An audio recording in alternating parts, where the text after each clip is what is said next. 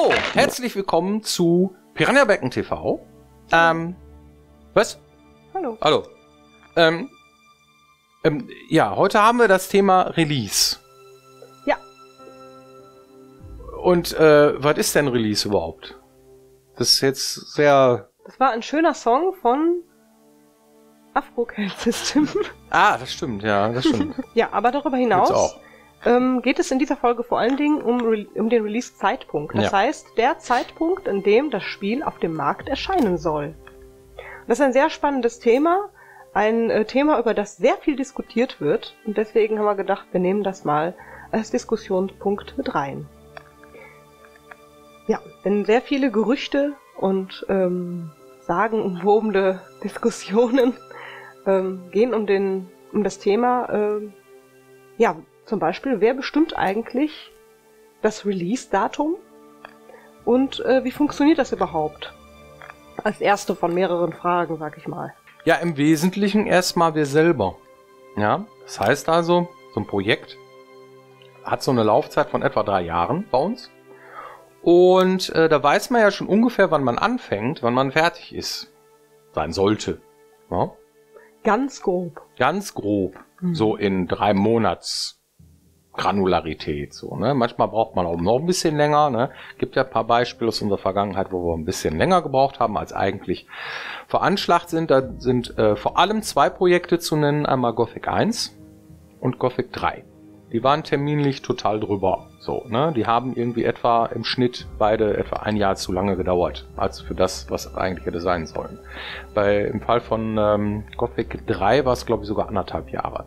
Was Ja. mir aber sofort dazu einfällt, ne, was jetzt äh, so automatisch ein Fan denkt, wenn er das hört, ist, ähm, dass ein, ähm, wenn ein Release-Datum, das angeblich irgendwann mal genannt worden ist, und sei es nur eine Jahreszahl, wenn die dann nicht stimmt am Ende des Tages, äh, dass automatisch der Entwickler äh, seine Milestones nicht geschafft hat und sich total verrannt hat und deswegen irgendwelche Sachen nicht funktionieren und so. Das ist aber überhaupt nicht immer der Fall. Es gibt sehr viele verschiedene Gründe, warum so ein Release-Datum nicht unbedingt das erste Datum trifft, das man sich vielleicht ausgedacht hat. Ne? Ja, da gibt es sehr viele Gründe. Äh, allen voran mal die Produktion. Ja, die Produktion eines Computerspiels dieser Größenordnung oder auch einer kleineren Größenordnung, wo man dann ja auch auf einer kleineren Ebene irgendwie auch die Termine halten muss. Also wenn man jetzt zum Beispiel irgendwie ein Projekt plant auf eine Woche und brauchst anderthalb, ja, dann hast du deinen Termin auch verrissen. Aber ist vielleicht jetzt so von der Größenordnung eine Woche, anderthalb jetzt vielleicht nicht so schlimm. Ja, kommt drauf an. Ja, aber im Endeffekt ist das schon so. In einem äh, Fall von uns würde das bedeuten, ja, du bist halt anderthalb Jahre drüber. Ne? Also drei Jahre plus 50 Prozent. also das ist ja dann schon total Käse. Ne?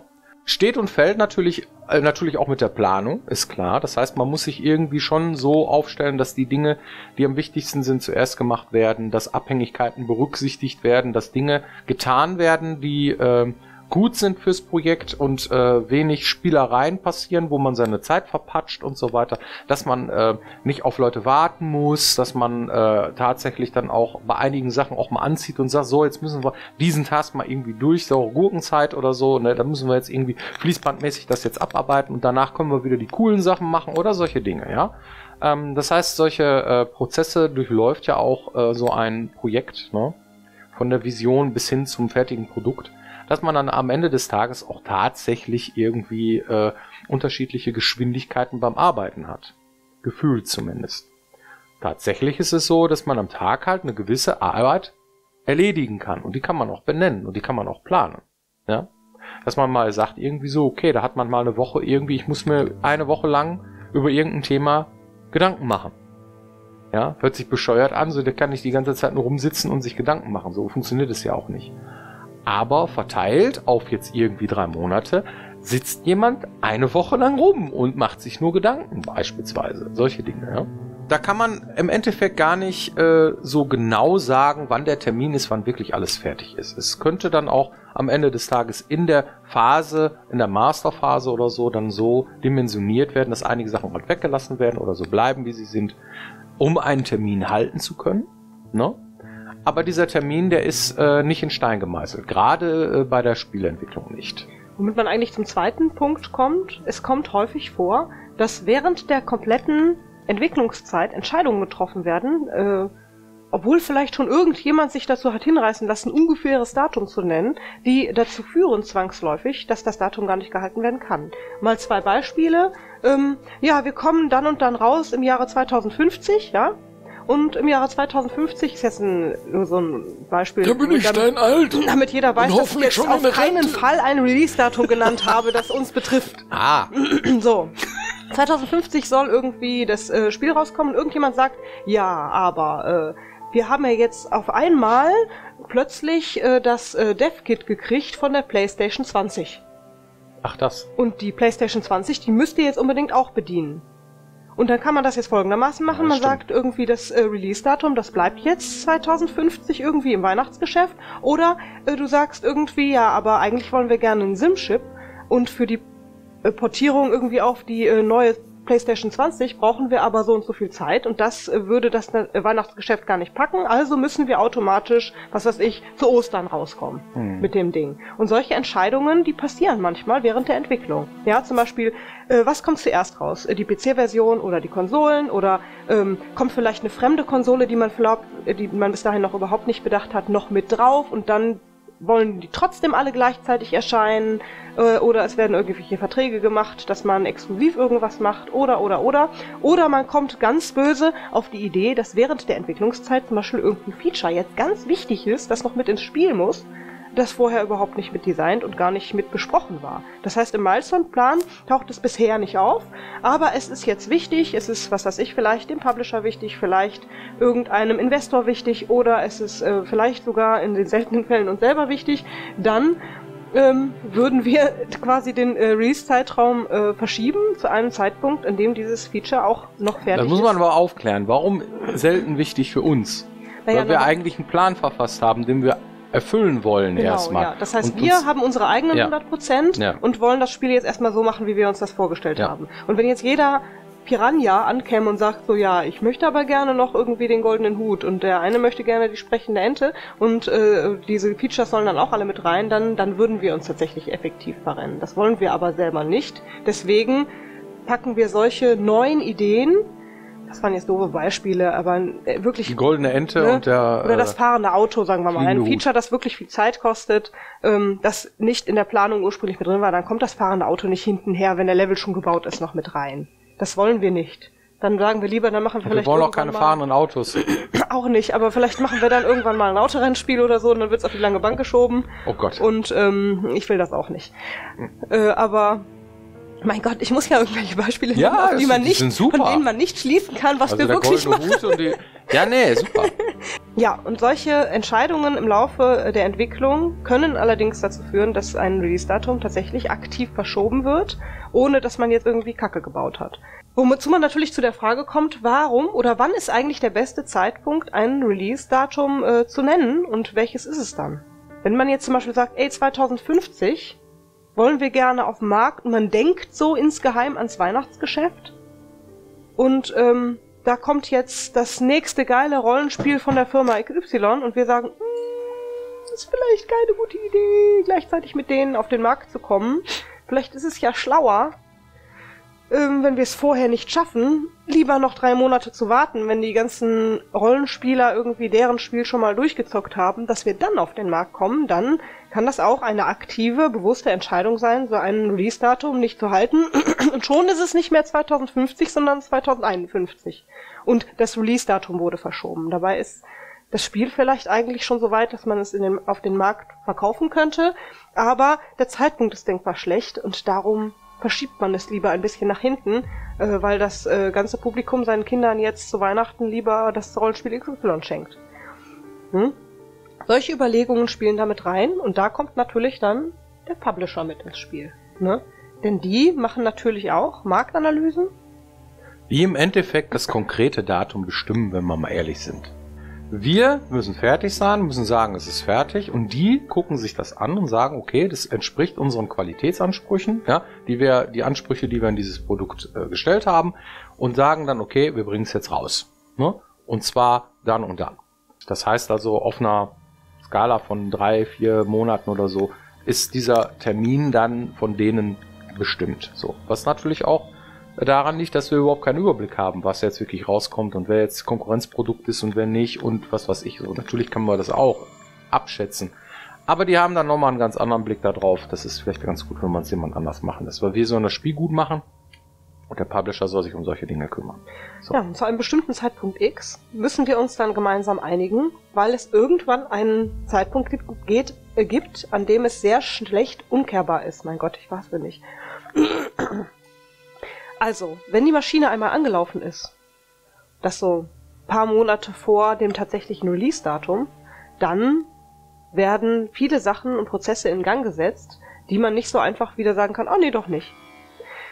Zum Beispiel, ähm, dass bei ähm, diversen Läden Palettenplätze gebucht werden. Ja. Und das äh, in verschiedenen Ländern, in ja, vielen Städten. Retail gibt es noch, ja. Ja. Heißt also, der äh, Krempel wird noch auch als Schachtel in den Laden, auch wenn es weniger wird, aber es ist schon so, dass ähm, das nicht unwichtig ist, dass man solche Sachen mit berücksichtigt. So, sonst, äh, sonst kriegst du sowas, was wir Rohrkrepierer nennen würden, ja. Äh, du bringst dein Spiel raus und keinen interessiert's. Mhm. Wenn das Spiel in die Schachtel kommt, muss es ja vorher auch irgendwie abgegeben und gepresst werden. Die Schachtel muss gemacht werden, ja. das Ding muss von A nach B geschippt werden, ja. irgendwie damit äh, die Leute es am Ende, äh, im Laden auch kaufen können. Und zu dem Zeitpunkt, an dem das Spiel in die Schachtel kommt, sollte es eigentlich fertig sein.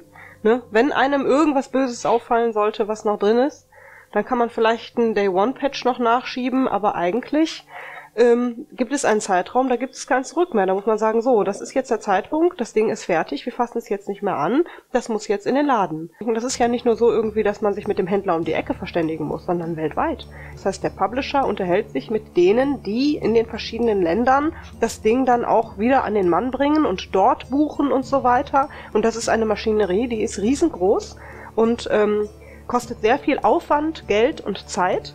Dann wird ungefähr abgeschätzt, na, wie viel werden die Leute dort wohl von dem Titel kaufen? Und dann kommt das Ding erstmal in dieser Schätzung in den Laden.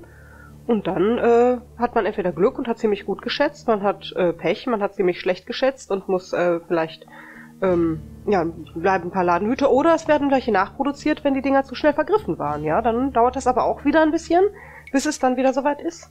All diese Sachen müssen zu dieser Phase bedacht werden. Ja, und die ersten drei Wochen sind die wichtigsten. Die erste Woche ist die wichtigste, weil da kannst du schon sehen, ne, wo die Reise hingeht.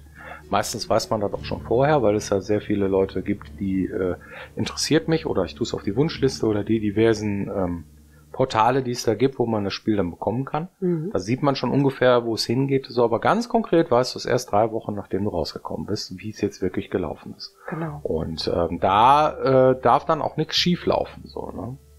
Und der interessante Part ist, da haben wir auch schon öfter mal drüber gesprochen, was wir dann in dieser Zeit machen, ja, ist parallel arbeiten, ne, sowohl zu gucken, dass wir die letzten Sachen, die noch aufgefallen sind, äh, wegmachen, ja, oder fixen oder was auch immer, oder darum kümmern, dass er auch wirklich rauskommt, Öffentlichkeitsarbeit zu machen. Und da sitzen wir aber auch schon seit Monaten an einem neuen Projekt. Ja? Das heißt, wenn man lukrativ arbeiten will in einem Team, ja, so wie wir das hier machen oder so, dann musst du da schon dein Baby, also das nächste Projekt irgendwie schon am besten schon gepitcht haben und vorproduziert. Du müsstest eigentlich schon in der Produktionsphase sein, so, ne? also mhm. in der mhm. Pre-Production zumindest. Ne? Also Produktionsphase nicht, bei so einem großen Projekt nicht, mhm. aber normalerweise, ja, Kleinprojekte laufen ja alle so. Bedeutet aber in der Außenkommunikation erzählst du selbstverständlich nichts über das neue Projekt, ehe es nicht wirklich auf Papier schwarz und weiß sicher ist, dass du es machst. Ja. Denn ähm, daran arbeiten tun wir natürlich. Und einen Wunsch haben wir auch. Aber ehe nicht zum Beispiel ein Publisher gesagt hat, in Ordnung, wir machen das mit euch definitiv jetzt und das ist. Und der Publisher, der weiß ja noch gar nicht, wie geil der Scheiß ist, den du gerade produziert hast, weil der hat die Zahlen ja noch gar nicht, ja, und dann stehst du da und musst ja eigentlich weiterarbeiten. Mhm. Da arbeitest du eigentlich erstmal auf eigene Tasche. Das ist so. Ne? Das heißt, du arbeitest erstmal einfach da in dieser Release-Zeit oder so, die sehr, sehr turbulente Zeit ist. Ja, dann wird man auch noch gelobt und dann wird man gescholten und das ist irgendwie so ein Wechselbad der Gefühle und hin und her und dann kriegen wir tausend Fragen und ja, wieso habt ihr das denn so gemacht? Und gibt's Leute, die sind euphorisch, finden es total toll, dann gibt's Leute, die finden es total scheiße. Ja, also das ist äh, eine sehr äh, turbulente Zeit und äh, an Urlaub oder sonstige Sachen ist da überhaupt nicht zu denken. Das ist einfach die schlimmste Zeit überhaupt so, ne? Weil man ist nervös, man weiß nicht so genau, wo es jetzt, was haben wir jetzt, haben wir, also, ne? also das ist schon wirklich ziemlich turbulent. Mhm. Ja, ähm, hast du eine Community-Frage? Ja, tatsächlich. Ähm, Entschuldigung. Ich habe einen Frosch im Hals. Woran arbeitet ihr denn gerade? Woran wir gerade arbeiten an unserem aktuellen Projekt. Genau. Ja? Was wir noch nicht großartig auswalzen wollen, weil es gibt nur eine Chance, einen ersten guten Eindruck zu machen, ist eigentlich so das ähm, Vorrangigste. Ja? Und äh, wenn wir jetzt da schon drüber diskutieren würden oder so, ähm, dann wir müssen erstmal selber dahin kommen, äh, dass wir uns sattelfest fühlen und so weiter. Wir haben sehr viele Feedbacks eingesammelt über unsere vorherigen Spiele, über äh, den aktuellen Titel Elex, den wir gerade rausgebracht haben. Und äh, da müssen wir erstmal überhaupt erstmal unsere Linie finden, zu sagen, okay, das können wir schaffen, Verbesserungen an diversen Dingern und so weiter. Es wird kein Autorennspiel werden, ja, es wird schon so ein Spiel werden, typisches Piranha-Bytes-Spiel. Wir sind uns auch darüber bewusst, dass Warten doof ist. Aber bei den Projekten, die wir machen, dauert das nun mal leider sehr lange. Und äh, selbst wenn wir euch jetzt irgendwelche kleinen Hinweise geben würden, äh, wäre euch das eigentlich keine Hilfe, weil die Fragen bleiben. Die bleiben bis zum Ende und ich weiß, dass ähm, viele Leute jetzt gerade fragen, was macht ihr denn, was macht ihr denn, was macht ihr denn? Aber äh, diese Fragen bleiben auch noch eine ganze Weile so. Denn wir können und wollen darüber nichts verraten, ehe das nicht passiert ist, was der Björn gerade gesagt hat. Und wenn wir was Geiles haben, werden wir es euch auf jeden Fall sagen und da freuen wir uns auch drauf. Und wir werden es euch zeigen und hoffen, dass es euch dann gefällt. Und solange, ja, bespaßen wir euch eben anderweitig, ähm, damit Da, ihr. da kommt dann immer gleich die Frage, ja gut, aber wenn ihr euch da so abschottet und dann nicht irgendwie dran teilhaben lasst und hast dann nicht gesehen, äh, da können wir da ja gar keinen Einfluss drauf nehmen. Das macht ihr jeden Tag. Das tut ihr jeden Tag. Ja, ihr bewertet unser Spiel, ihr spielt unser Spiel, ihr schickt uns Feedback dazu. Ja, das macht ihr schon, dass das Spiel raus ist. Das heißt, wir haben schon ein ziemlich gutes Bild von dem, wie ihr denkt, zumindest im Mittel. Ne? Also jede einzelne Person wird man nicht glücklich machen am Ende des Tages, aber äh, dieses Feedback, ja, das habt ihr schon längst uns zukommen lassen. Und ähm, da arbeiten wir dran, dass wir Sachen, dass wir euch auch gefallen am Ende des Tages. Ja. Das ist ja das Wichtigste daran, so, ne? Jetzt müssen wir uns erstmal einordnen. Und gucken, dass wir was Geiles auf die Beine stellen. So sieht's aus. Ja, gut. Ähm, kommen wir äh, zur nächsten äh, Klamotte. Der Trophy Box.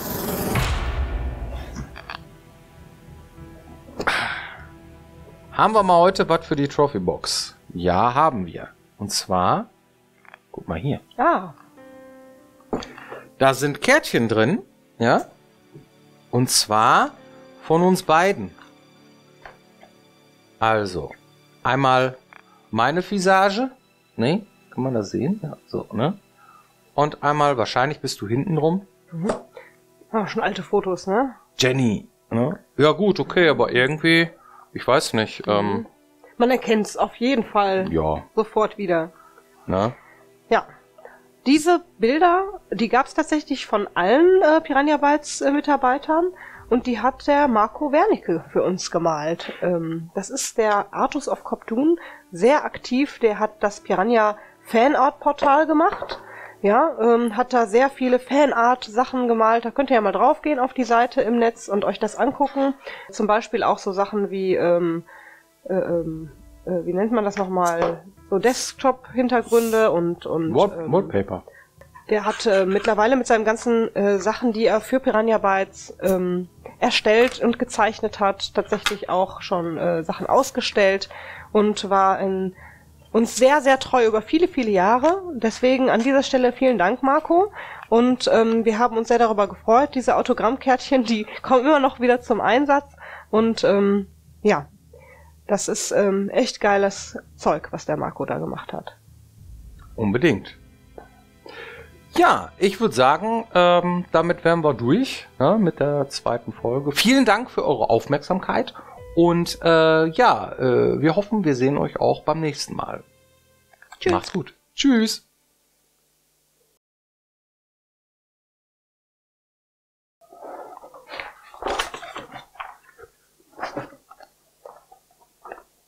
So. Jetzt habe ich mich aufs Kabel gesetzt, oder was?